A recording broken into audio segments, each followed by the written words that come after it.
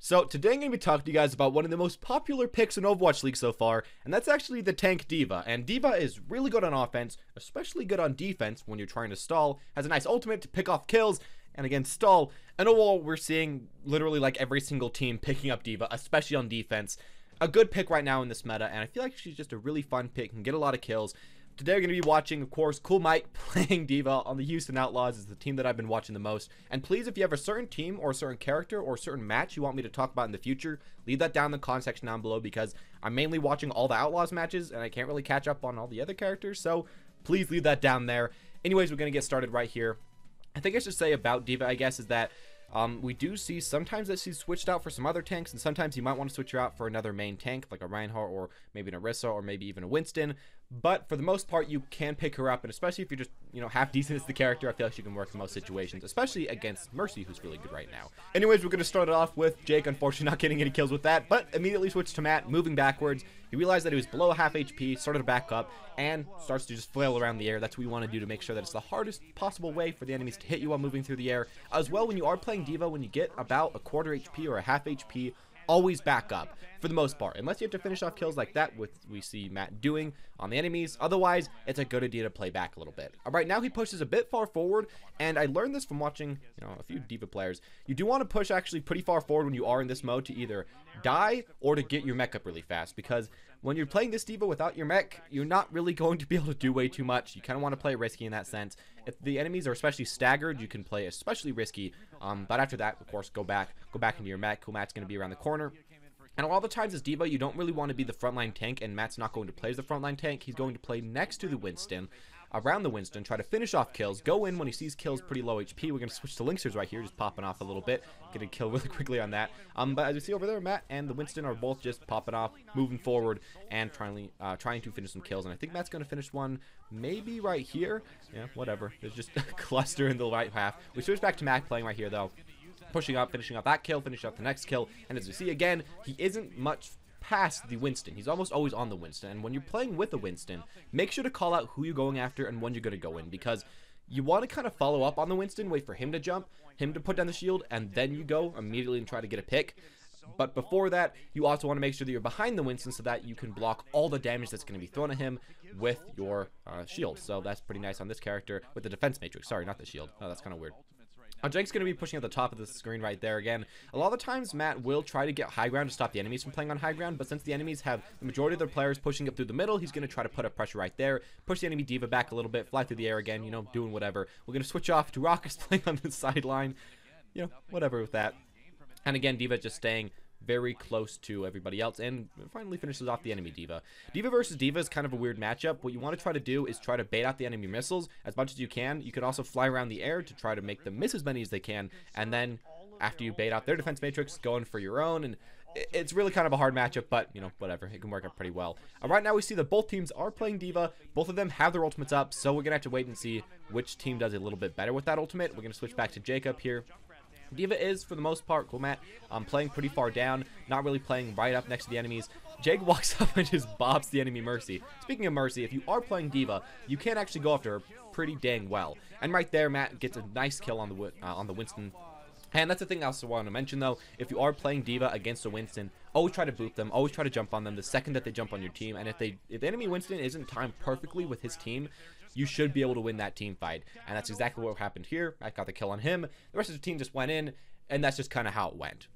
Nothing way too fancy. He didn't have to pull off any super hard plays or anything. He just stayed calm, stayed kind of right next to his team, and that's kind of how D.Va works right now. And personally, I've been playing D.Va probably as my most played hero for the last few hours. I have like seven or eight hours on this character. Really liking the character. And with that in mind, today I'm going to talk to you guys after that gameplay, I guess, about some other general tips that you can try to pull into your own ranked games one playing as D.Va. Now, of course, using that positioning that he was using and trying to finish off kills at the end, that's probably the most important thing to try to do. So try to follow that as much as you can. I know, of course, you can't always see exactly where he is because you don't always follow the D.Va, um, but try to do that. But other than that, here are a few good tips that I feel like can probably help you quite a bit as D.Va, and I've learned these from just my own gameplay, looking at top 500s, and from watching a ton of D.Va guides. So hopefully I can compress a lot of that information into one thing.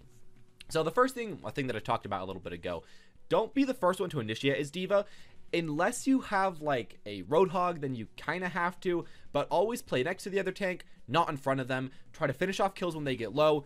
but don't try to be the one that's jumping in there because you can only block damage from in front of you, and if people are next to you, or above you, or below you, or any direction, you're kind of screwed. Uh, that's just the thing you want to keep in mind. And if you initiate, you won't really be able to get much kills with this character. You just kind of be standing there and just be a walking ult charge. So that's a thing to try to, try to keep in mind. If you are playing with someone like, let's say, Zarya or like a Roadhog, as I was saying earlier, you still can do okay with them. I feel like it's very hard for you, not on King of the Hill, but on these other, you know, slow push maps, because you do have to make sure that you don't really engage. You just kind of wait for the enemy team to engage, and then you try to counter engage. And that's how you're going to have to do that. And hopefully just jump on either the enemy Reinhardt, or Winston, or even D.Va to try to just poke them back as much as you can. Now, the next thing I want to say is that you want to try to finish off kills as D.Va for essentially you, you just want to target whoever your DPS is targeting and target maybe even whoever your other tank is targeting. You don't really want to target kills by yourself because while you can, it is a lot more risky and as well it's going to take a lot longer time to kill. You're probably going to have to waste your booster and it's just much better that if you see, you know, there's a Hanzo being shot or Mercy being shot, you go with your team and take out that Hanzo. And then right after, if you still have time, you can go after that Mercy target prioritization, I'm going to talk about this right here, um, is very important as this character. If you can choose between a D.Va and a Mercy and your teammates aren't really shooting at anybody, or let's say a, another DPS and a Mercy and your teammates aren't shooting at anybody, you should go after the Mercy and try to finish her off. However, if you see that the Mercy is at full HP and no one's going after her, while there's someone like a Widowmaker at half HP and a lot of your teammates are going after her, you should go after the person that's an easier kill. While it might not be as an effective kill, it'll be a kill. And a lot of times against Mercy, that's full HP. She could be healed. She can get away. She has a lot of ways to just, you know, get out of there. Um, and it would be a lot more risky for yourself because you're going to have to dive a lot further into the enemy backline. But let's say you go after the enemy Reaper that's already half HP that everyone's attacking. That should be a pretty obvious pick. And even though it's not, again, as good of a kill, it's a kill. Now, for the best combo that I figured out and that I've heard to try to do, essentially what you want to do is hold the shoot button, press shift or press your booster, and then E while you're boosting for the first second because there's a 0.5 second startup cooldown, melee, and then shoot for headshots. And when you are close range, when you get in this combo, let's say, let's say you don't finish off the enemy because they're a tank or something, uh, when you're close range, try to hit your shotguns as much as you can. Try to just aim, try to get headshots, do whatever you can like that. And don't really try to worry that much about the rockets. I mean, if you hit the rockets, that's just extra DPS that you can enjoy yourself with but it's just a bonus plus. Don't focus on it because the rockets do less damage, less consistent, and even though they don't have damage fall off, and even though they have a lot of range, that's not something that you should try to focus on as much. Speaking of the rockets, the one thing I want to mention is that if you are on a map that is like Hanamura, or just a map that's kind of open at the beginning, always rocket the enemy spawns. And if you can get, let's say, um, like a Junkrat to help you, you might be able to get a kill. Or if you can just get a Mercy damage boost, you might be able to get a kill by yourself. It sometimes happens. Or even if you can't get that, you get at least about 10% of your ult charge. So that's the thing you want to remember to do because it's just a plain out benefit. And while D.Va's ult isn't always the most powerful in the game, it can be if it's used in the correct situation. Mainly used with another one of your tanks or used to stall for time. And that's kind of how you want to think about it. Can I get a kill with this with my tanks or with another combo ultimate or can I just stall? That's kind of how you want to use the ult. But anyways, um, there's all that stuff mixed together. Now, if you are, let's talk about your ult for a second right here. If you do want to use your ult, um, essentially what you want to try to do is to shoot your ult into the middle of the fight, or shoot your ult just straight into the enemy backline um, when the enemy shield tank doesn't have their shield up. That's kind of what you want to do for going for kills. And as well, if you don't play way too much D.Va, what you want to make sure to do if you're trying to ult in the middle of a fight is, boost straight up into the air for about 1.5 seconds, and then press the ult button and it'll fall down. If you immediately shift and ult upwards, it'll be too high to get any kills, and for some reason, for like a few days, I couldn't figure this out because I'm dumb. But that's what you do if you're a player that doesn't really play way too much D.Va. And as well, um, sometimes you want the ult to blow up right behind the enemies instead of like super far behind the enemies.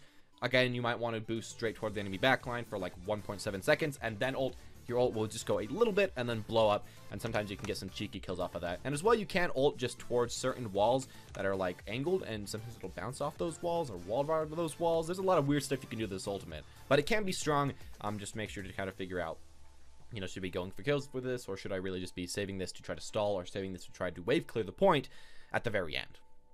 Something else that you should remember about positioning, I guess that's completely different from ult usage, is that you want to make sure that you aren't playing super far back you don't want to be next to nobody. Unless, let's say, there's a Genji and a Tracer hurting your backline that you can shift around and boop around and make sure that they don't kill your Mercy. That can be good. But otherwise, you want to make sure that you're pretty close to the enemy front line. You aren't all the way up at it. You want to make sure there's a Reinhardt or Zarya or a, uh, Orisa or anything like that in front of you, but you want to make sure that you're pretty close because if you're any further than 10 meters, you get huge damage fall off on your guns and you aren't going to do way too much. You just want to make sure that you're close because as well, you can finish off kills quickly with your booster, unlike a lot of other tanks if you are living up pretty dang close. For your Matrix, here's a pretty nice tip about this. Um, you want to make sure that you're trying to flash your Matrix as much as you can instead of just holding it. And especially for versus a DPS and a 1v1, you aren't really going to win against them if you just hold your Matrix for 2 seconds straight while trying to boop them and then melee them and then, you know, shift straight into them. That's not really going to work for yourself. However, if you can get used to the enemy DPS's reload cycles, so let's say Tracer shoots a clip, so you defense matrix that, and then you shoot at her, and then you defense matrix the next clip, and then you shoot at her, and you just hold it for a little bit, and then let go, and hold it for a bit, and then let go, and hold it for a bit, and then let go. That can actually win you uh, a 1v1 a lot easier. It can stall you for a lot more time, and give your teammates more time to get to you, and yeah, it'll just increase your chance of being able to win that. And I guess if you're against a, someone like a soldier, make sure to try to do this especially, but as well, make sure to try to boot them off their healing packet because you can never kill a soldier when he's on his healing packet, but I mean, if, if you can do this, you might be able to live for a while and then maybe eventually kill him after his pack falls out if you need to do that. And one final thing I want to say during this meta that we're in right now, and in the meta that I feel like will come in a little bit, um, remember that you can counter Pharah better than just about anybody but Widowmaker. So if you hate Pharah's, this is a good character to play. That's why I play a lot of her, because I hate a lot of the people that she counters, like Pharah and Junkrat and stuff. Um, she does counter Pharah probably even more than Widow, but don't go after the Pharah until she comes up pretty close. And don't go after the Pharah until she pushes up with her teams. I see so many D.Vas just jumping into the enemy backline, hoping that, that they can get the Pharah and somehow get out after using their booster. That's not really going to work for yourself. You're probably just going to die. So play smart and, you know, just play a little bit further back next to your front line until the Pharah finally comes up close and then go after and then go try to kill her. As well, one final thing I want to say is that you do want to just try to keep um, your ideas just all over the place. You want to make sure that you're always looking left and right, up and down, that you're always trying to figure out where the enemy flankers are and trying to counter them as much as you can because that's a really good benefit for this character as well. But anyways, that's all I'm going to say about D.Va. I feel like she's a super fun character, probably one of the better characters in the game right now, and probably my favorite one to play um, during this season, at least for right now. So there you go with that. Thank you all for watching, though. Hope you enjoyed. Hope any of these tips helped you, as these are probably the things that I feel like are helping me the most win games. I think I still have a 76% win rate with uh, quite a few hours on D.Va. so let's hope that I can eventually get to Masters with that. And maybe with some of these tips, you will be able to also. Anyways, as always, guys, though, thank you all for watching. Hope you enjoyed. Leave a like if you did. Press the subscribe button or that notification button to see more videos like this in the future. And as always, guys, have a wonderful day.